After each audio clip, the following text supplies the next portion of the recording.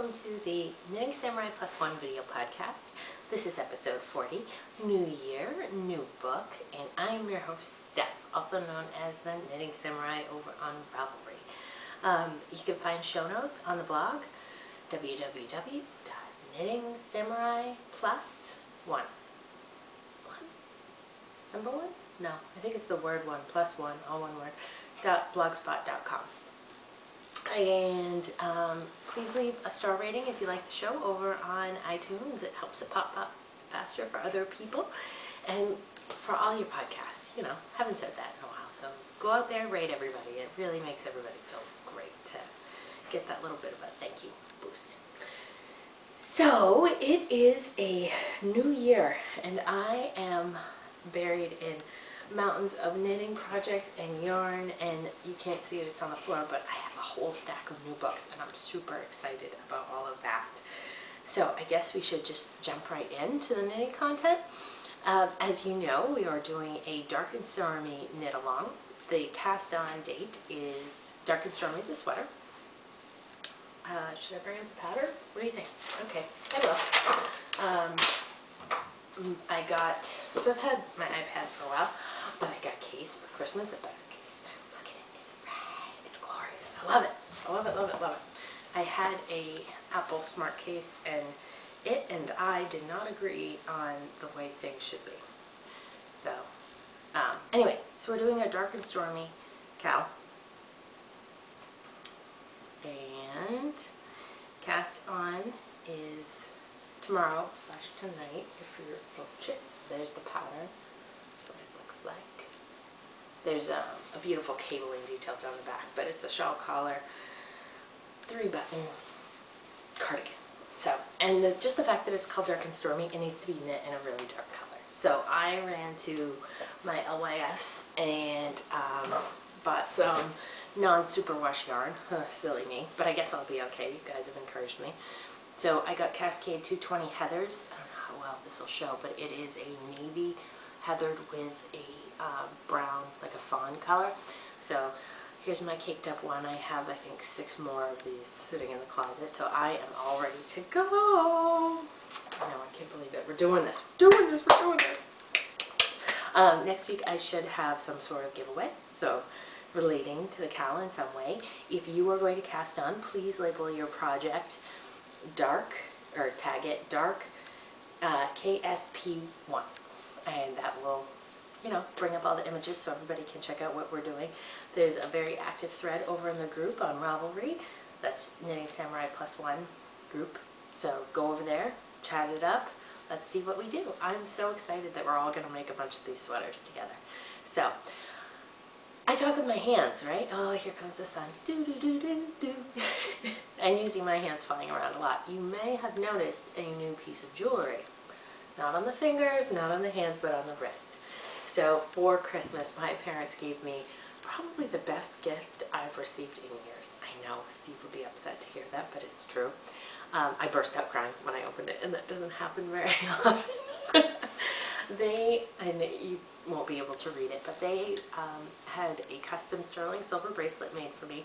So I've always, well, in 2006, they got me the Knitting Samurai bracelet. So that's this one that I wear all the time like I've had meltdowns because I can't find it and we have to go back to the cottage we were staying at and drive three extra hours to get my bracelet because I took it off and left it on the nightstand like and then I learned just don't take it off. So I always wear this bracelet, right? And that's me. That's my rap name, Knitting Samurai. Um, so my mom discovered that I do this podcasting thing still, which she's like, how do you find time? And really like the name of it, the Knitting Samurai Plus One. So she had a custom one made for me. It has these cool, I don't know if you can see them, but they stick out a little bit, and finishing pieces. It's a bigger bracelet, obviously, or bando. Um, it's nice, and it has embroidered on it, Knitting Samurai Plus One in this really fancy script. So it's gorgeous. I love it. I love it so much. so anyways, um, that was one of my big Christmas gifts. So I have my bracelet on. I wanted to just share that with you. Um, and also, since I'm talking about Christmas, it was a very, very, drop everything on the floor, uh, booky Bucky. Very book heavy Christmas. I don't, I hope he can't hear Roland on the monitor. He has been down for a nap for half an hour and has decided not to sleep. I got this many books. More to come on the books. I don't know if you saw the purple tags. Okay, scattered, scattered, ah, everywhere. On the needles. This is my um, Harvest Moon cardigan knit with the Yowza Homestead colorway. I have been going gangbusters on this thing because I'm pulling off stitches. I didn't, wasn't really thrilled about the idea of having three sweaters on the needles at once, so I was like, ah, that's the one closest to done, I want to finish it. So um, I'm not pulling too hard because the bottom's tucked in, but you can see this is how it looks. I do have three buttonholes, so it'll button, the last one will be right below my bust. It does come together, it's just I don't want to tug on it too much, so this is, yes, it goes to right below, where am I at? I'm about here, at my hips. So I have another um, six rows to knit, and then I do the bind off. So that is coming along. Here, you can see it better if I do this, I'm sure. So there is the glorious homestead color. Don't you just love it? I do. I think it's lovely. I wanted to make sure I only had two skeins. I wanted to get it as far, extend the yarn as long as possible and try and get more on the sleeves. We'll see how I do. I only have 250 yards left, so I don't know. I don't know. Um, so when it became time and I realized I was knitting the inside of the pockets, I picked up that Hunter Green Cascade 220 superwash yarn that I had. Um, I had actually bought it to do colorwork sweater and then realized a colorwork sweater and worsted weight yarn would be really heavy. So I didn't end up knitting the sweater. Um, so the inside of the pockets are dark green and this is how it will look on the front. There is a pocket edging, so you can see my fingers sitting right on the top. There's this beautiful edging that goes on. It's one of the main details of the sweater, I would say. So that will sit over it, so you absolutely won't see the dark green. And I'll just know it's there. Well, it's fine. Um, at one point, I was knitting 70 out of 180-ish stitches with the dark green, so I was really cutting, you know, it's almost half, at least two third, uh, at least a third of the sweater on those rows with the dark green. So I really felt like I was accomplishing my goal of extending the yarn. So we'll see how I do. I may have bought some more um, Yowza. my in-laws gave me um, cash to go have my car detailed for my birthday because I said that's what I wanted. And life's gotten away from us. It's been a few weeks since my birthday. I haven't actually had the car detailed yet and Miss Babs is having 20% off, as you've heard, through, I think, today, through the 31st. I'm not sure. But I went over there and I bought a sweater's worth of Yowza. So you will see that in the coming weeks. Oh, those colors are so gorgeous. So gorgeous. So that's coming. Because this is just glorious to work with. Glorious! In this bag, there is a beatnik. An unloved beatnik that I have not touched. I will touch it. I will get back to it. And even if getting back to it means not working on the section I'm on and just knitting a sleeve because I feel like the beatnik has the potential to be one of those masterpiece pieces, right? So I did the Ivy League vest four years ago. That is one of my pinnacle pieces of knitting that, for me personally. Like it, color work gorgeousness vest. Now the thing doesn't fit me because I don't swatch and I was a newish knitter and I didn't really know what I was doing. It's a beautiful, I knit it with all the colors and yarn of the pattern, but it's just probably a, oh, it's probably a 40, maybe a 42. So I'm saving it. I'm not giving it to anyone because it was one of my pinnacle pieces and I feel like all the cabling in the beatnik, it has that same potential. Plus the overdying aspect like just makes it a little more unique, a little more me. So I really want to finish it. I'm to plow through it. It's not to finish with the knit along. It's just, it's not to happen. I'd rather knit on other things right now, but I do want to finish it. So I'm not putting it aside. I'm not hibernating it. I'm still to talk on it. And even if I only knit on it for an hour a week, an hour a week it is. You know, I really enjoyed, personally enjoyed watching Stephen on Dramatic Knits knit that beautiful cabled sweater for himself. And I felt so, so much joy for him when it was finally finished because it took forever. Some of those big projects take a while because we're not all monogamous and we don't all want to just be Megan. So, so I will still continue to talk about it, but it's not done right now. Don't you like how I'm like working my way through my stack over here? Vanilla bean socks. I don't think, I might even be on the same row I was on last time you saw them. So, purse knitting, they just ride around with me. Knit on them while I'm in line at Dunkin', which is a lot lately. Holy cow. I have been drinking my mocha squirrels like crazy in this bag. So last time we talked, I was like, ah, it's the holidays. Lots of time off. What am I going to work on? And I showed you the potential of three things I was thinking about casting on. Oh, and the funny thing is that at Christmas, I had this delusion that we would spend three days off and I would have all this knitting time. I, the only thing I knit on was the uh, Harvest Moon sweater, and that was while I was sitting in the IMAX movie theater for The Hobbit with my 3D glasses on. It was, it was a great movie. It was a great, um, my take on it is it was Lord of the Rings Take Two. So if you enjoyed Lord of the Rings and that formula of run from the goblins, run from this, chase by that, uh, you'll like it. My husband, who is a huge Lord of the Rings fan and an even bigger Hobbit fan from his childhood, he read it multiple times as a kid, hated The Hobbit because it's an unexpected journey it's different. It's not there and back again. It's not the same story. Uh, it's Peter Jackson taking the characters and making his own story. So he really did not enjoy that movie. I thought it was a great little romp. I read The Hobbit once in college. Had no real strong connection to it. So those are our two reviews on the movie. But so I didn't get any knitting done while I was in while we were in, at my parents' house during uh, Christmas on anything besides that sweater. But then afterwards, this past week, it's been really quiet at work. I worked two days, three days, two days, worked two days. And then this weekend, um, we went up to my in-laws and celebrated Christmas with them, and that's a six hours, six hour car ride. So I had lots of knitting time there too. So, the Milo by Georgie, Georgie, Georgie, what's your last name? Hallam made it onto my needles. So this is Cascade 220 Super Wash in the 1919 olive green heather colorway. And I am using US size 5s instead of 6s because I couldn't find my 6s and even though the pattern said it should be very uh, it should be a negative ease sweater this is for kid. I just I didn't agree with her. Like yes it looks cute with negative ease but then that's a shorter wearing period so it'll have some positive ease the belly will grow and then it will fit him more. So I am knitting the uh, 3T size which has a 22 inch chest. He, um, most of his sweaters are 24 inch chest right now. So I'm, I did not quite agree with her ages that she was giving, like calling that a 3T. I would have called it a 2T, but that's what, what I'm doing. And this is, I've broke, I've split off, right? So the arms are done, armholes are done.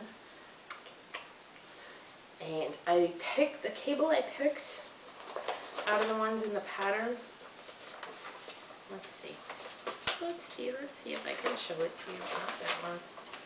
Not that one. I really like all the options she gives. It's, um, she calls this additional cable option, cable pattern 2, the giant cable. So it's just a big, it's a constant twist instead of Becca.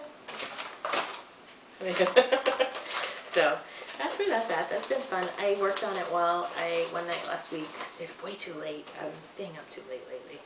Um, watching Most Excellent, Best, mo the Most, the Best, Most Exotic, Marigold Hotel, whatever that Judi Dench movie is. It was good. It wasn't great. It was good.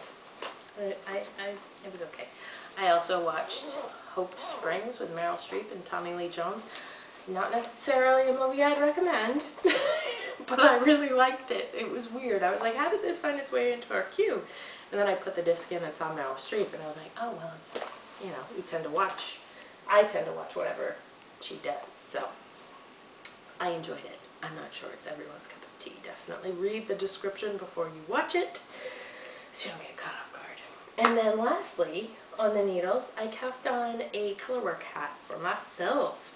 So, and I know, it's a silly little hat, but Roland wears ear flaps all the time, so why can't mommy? So this is Knit Pick Stroll Sport Weight in the eggplant colorway. Or maybe I should show you on the ear flap. There we go. In the eggplant colorway. And then this colorful yarn is this bit right here. Part of my, you gotta get to $50 to get the free shipping purchases. Um, I think it's a discontinued colorway. It's Knit Picks Felici in the sport weight in the groovy color colorway. So I really like how it's knitting up. First, it, you probably can't see it, but it's a very pale green and now it's turning into this hot pink. And then the next color I believe is going to be this bright blue and there's an orange, a brown, and a, a lavender type purple. So I am doing a bit of designing here with this, so that's a it's a nice distraction from all the sweater knitting. As you can see, I haven't done all that much, but it's coming along. And this project bag is really not big enough for two skeins of yarn, plus a bulky hat, but that's what I'm using. Um, I just wanted to share a little bit of beautiful yarniness. I placed an order with Cakewalk Yarns a little while ago, but I feel like I hadn't shown you any, any good yarns, so I wanted to just pull these out. They are both, they are all three. The Stash base, which is an MCN, and they are, this first one's Portland, this one's um, that's my favorite, and this one is Rhinebeck. Of course I had to buy it. So those are in my future. And then Wetman, he might be yelling. No, I don't think so. And then last but not least, what else did I want to talk about? Bracelet, new books, year in review. I'm and goals. So I set goals for myself every every January for the coming year just to I think it's fun to work towards goals. I fell very short of last year's goals. I need to um, I want to do a little segment about what I actually did accomplish because I accomplished a lot but not 100% of my goals, which is fine. Shoot for the moon, end up among the stars. That's what I do with my goals.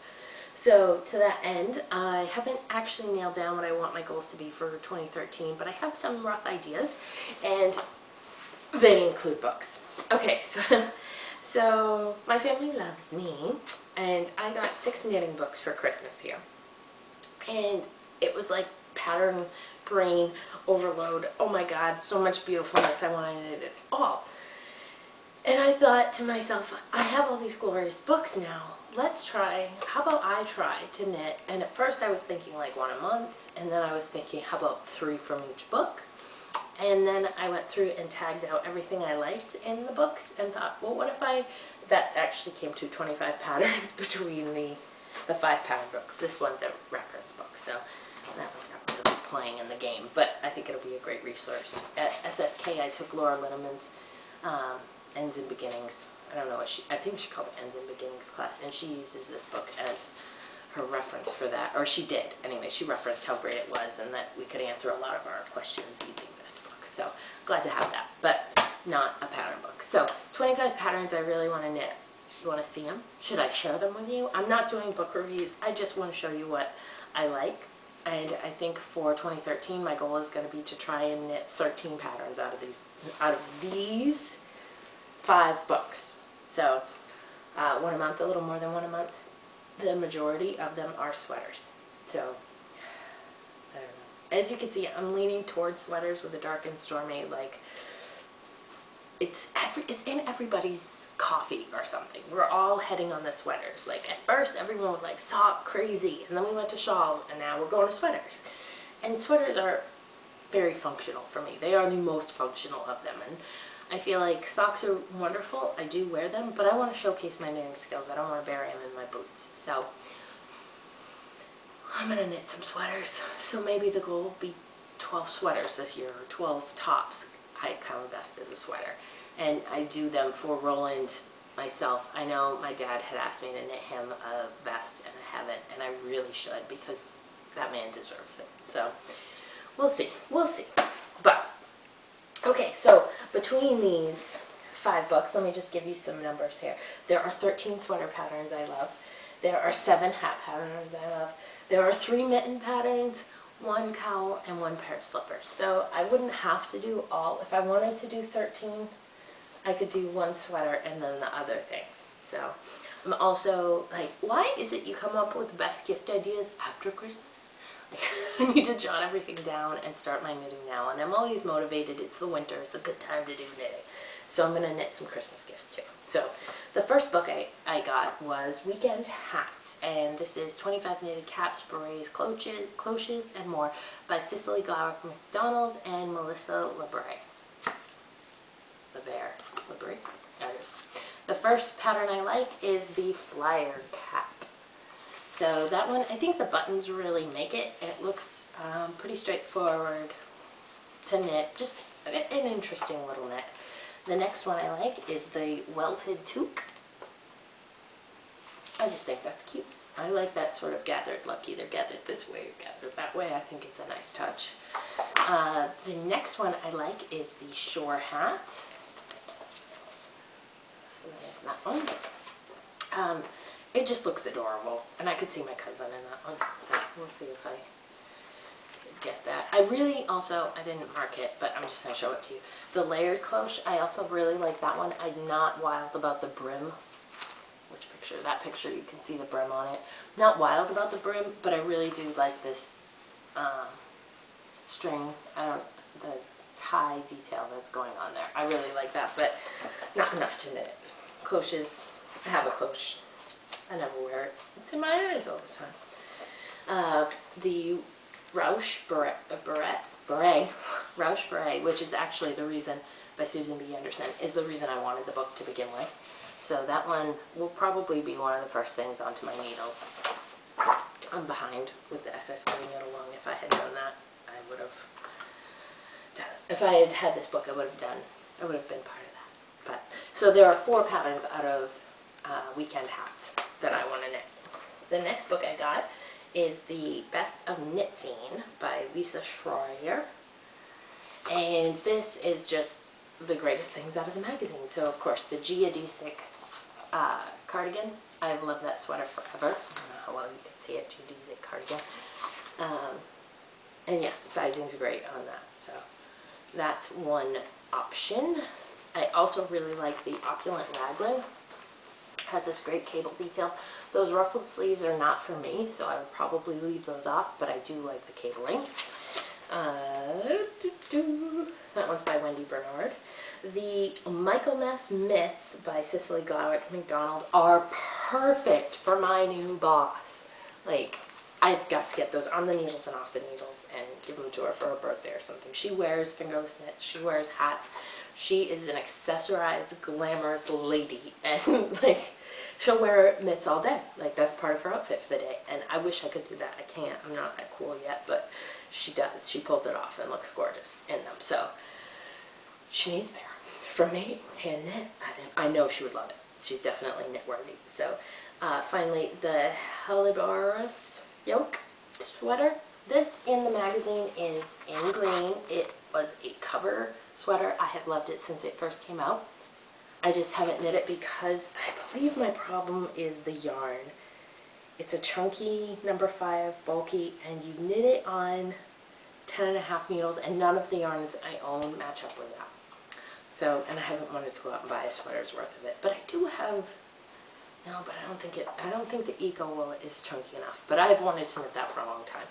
And then the Berkshire Dolman sweater by Melissa Wehrle. It's really classic. Really, really classics. Yeah. Elbow length sleeves, nice chunky knit. That would be really, really fast to knit. It only goes to size 45 though, so may have to do some tweaking there. So that was the best of knitting. Um, the next book was November Knits. This cover sweater is my sad. Uh, the reason I wanted the book was this sweater. Sizing does not cooperate with me. So this is the burdock cardigan by Maura Kirk, and it goes to a 40 inch bust. So I would have to do some serious, I don't want to. I don't want to, I shouldn't have to. So I love it, but I'm not going to knit it.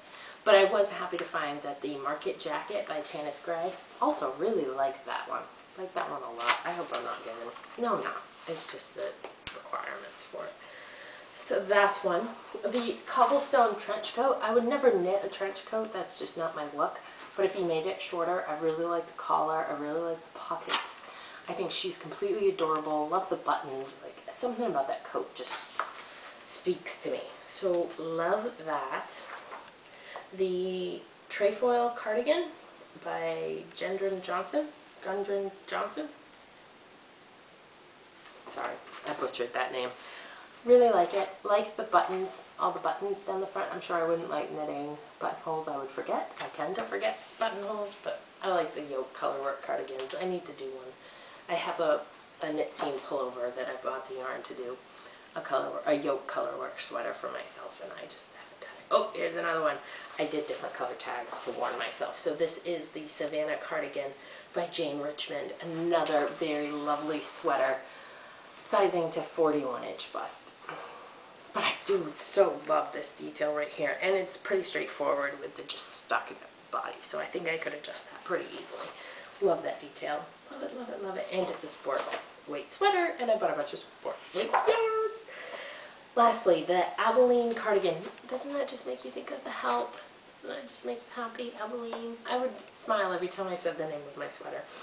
Um, this is by Carrie Bostick Hoggs. Hold. Okay. Um, Knitting 24-7 by Véronik Avery. And here we have the 1965 arm warmers. Really like those. The, I'm rushing because the camera battery is going to die on me. Spiral Tweed Cloche, which is the reason I wanted that book to begin with the Elemental Pullover. Very, very pretty. Um, but it uses Ultra Alpaca Light, which means fingering weight. Not likely to happen for me, but I wanted to show you because it's pretty. The pinstripe slouch hat is super cute. That was like added bonus for me when I stumbled across that pattern because I really, really, really like it. The winter and summer slippers, definitely great use of some of the bin of felting wool I have in the garage. I have a whole bin of wool because I used to be a love to felt things. So maybe I'll make a few pairs of slippers. Those are always a good way to show the love. And then the fleur-de-lis hat is just gorgeous. Just gorgeous. Super cute. Super, super cute. So that's uh, six patterns in here knitting 24-7. So knitting 24-7 and November Knits had the most that I liked.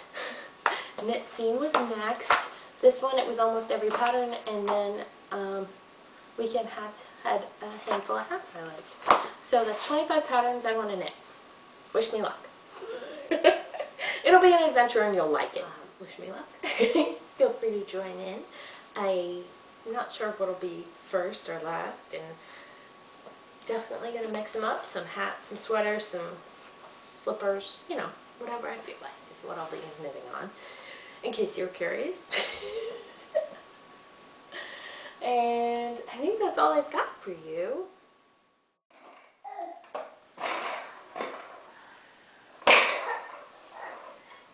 You don't want to walk around with it. You're just going to stand there, huh? You're just going to stand there?